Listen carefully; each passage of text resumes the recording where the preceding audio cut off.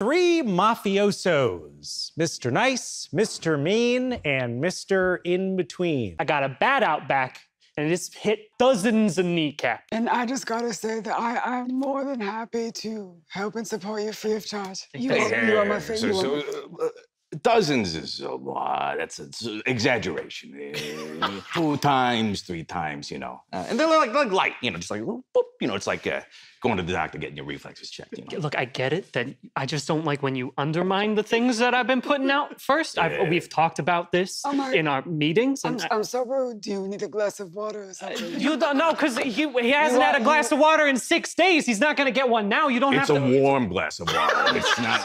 Not particularly refreshing, but you know. Let's give you money. No, that, that is the absolute opposite of what we've. Monopoly money. Uh,